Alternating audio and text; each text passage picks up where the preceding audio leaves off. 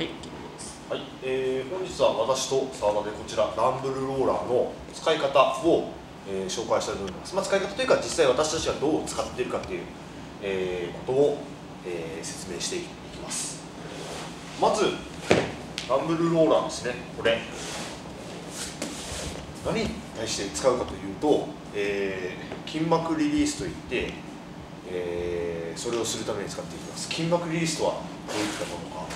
あのそれ説明しますね。あのこう人間には筋膜といって筋肉をこう薄い膜で包んでるんですね。例えばこう鶏肉料理する人とか鶏肉を切るときにこう包丁入れた瞬間にプツってこう切る外側の膜ありますよね。あれが筋膜なんですね。でリリースってどういう意味かっていうとこう例えば、まあ、トレーニング含めて、まあ、充実の、練習とかも含めてぐっと筋に固まるとその筋膜が一部では伸びて一部ではこう緩んでみたいなこうバラアンバランスになってしまうんですよね。そのアンバランスになってしまった筋膜、まあ、それがこう痛みだったりとか、まあ、肩こりだったりとかね、えそういった原因になってしまうのでそのアンバランスになってしまった筋膜をこういった圧迫したりとかすることによってそれを元に戻しますよというのが、まあ、筋膜リリースの、え考え方になりますね。でこれはまあ非常に有効なツールになります。では実際今からふくらはぎまずやっていきます。片足乗せます。で、えーもう片足乗せると、えーより強くここに圧力をかけることができます。その状態で、えー転がしていきますね。で転がしつつコロコロコロコロってやるってよりも転がしてってなんかあの凝ってるなとか硬くなってるなとかだったら一旦そこで止めちゃっていいです。止めて左右に少しゆっくり動かしてもしくは止めちゃったまんまでもいいですね。そのまんま。やっていきます。で次もうちょい上行って上行って上行って。ああった。やってるところなんかだんだん硬い場所とかなんか自分が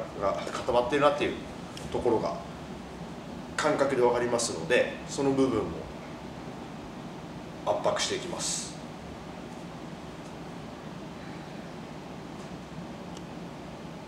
あ今こう来てますね。ちょっと全然分かりづらいですけど。乗せた後に少しこう左右にこう打ってあげたりするとよりそこを探りやすくなります。こうですね。こんな感じで。特にこの膝裏とかも結構なんか硬くなってたりするんで。そこもよく私はやったりしますね。で同じ要領でこのもも裏だったりももの前なども、えーほぐしていくことができます。他何か澤田先生の方で使ってるやり方があれば。そうですね。あのーまあ今山田先生がやったようにふくらはぎだったりもしくはこうねももの裏とかこういった形で、まあ、自分の体重預けてゴロゴロこう移動させたり圧迫することによってできるという点で言えばね上半身も非常に有効ですよね。えーまあこの、えー腰よりもこう上の部分ですね。こういった、まあ、手を伸ばしたりするとよりこうプレッシャーかかってよりねみたいな。あれはこう肩甲骨の角度によってこう入る部分も違ったりするのでこう動かしながらねえー上背部ですね。をこうやったりとかね、えーするという使い方が非常に、まあ、もっとポピュラーな形になりますね。あとこう別にこれはこうごこう突起がついてないね、えーストレッチポールとかでも同じことできるんですけれども、えーさらにこう突起で、ね、プレッシャーを与えながらこうよりこう胸椎に自分の胸を開くようにこう、え柔軟性をねやったりとかするということもできますね。えーでまあ、じゃあ腰はどうなのかっていうとこれはちょっとこういろんなこう、えー 説もあってこうすると腰が反っちゃってやらない方がいいよっていうあの方も非常に多いです。これはちょっと腰が痛む人は私もやらない方がいいと思います。私もやってません。そうですね。は。ただこれが逆にいいよっていう人もね中にはいると思うんですよね、まあ、これはちょっと自分で体相談しながらねやると非常にいいかと思います。あとはこう横を向くっていう手もありますこう広背筋といってこう、まあ、自分のねこう脇の下からねあるこの筋肉ですね、まあ、非常に重要な引いたりするのに使う筋肉ね。ここ、まあ、結構これ痛いんですけどこれはちょっとあの調整しながらねやって広背筋をほぐしたりとか。もしくはこうね下半身も横を向くことによってね、えー上向きではできなかった筋肉。もしくは前とかでも全然ありますね。前方向でも使ったりとか、えーできるかなと思いますね、えーまあ、それで言うと全然こうね青竹吹いたり足の裏とかでも全然いいと思います。これ全然足の裏を、ね、刺激したりしてね、まあ、非常に足の裏にも全然、えー押すことにリラックスがあると思って。いろんなこう、まあ、ある意味使い方自由ですよね、まあ、あの自分の体の角度とか、まあ、痛みが発生しない範囲でね、えー筋肉をほぐすことによっても非常にいいケアで、えーリラックスになると思います。これはあの練習前にも非常に有効だと思います、えー体をほぐすね。もちろん練習後寝る前とかね、えーそういったケアとかウォームアップも含めて非常にえー有効な数だと思いますね。やっぱ何がいいかっていうと、